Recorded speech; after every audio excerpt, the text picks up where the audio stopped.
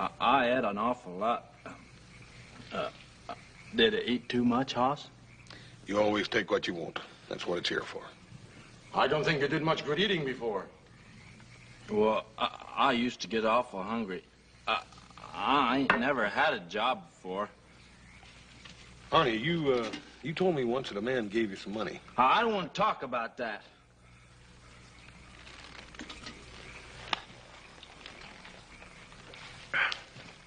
Mira, el grandolo aquel se acabó los frijoles. ¡Qué bárbaro! ¡Qué manera de comer! What'd you say?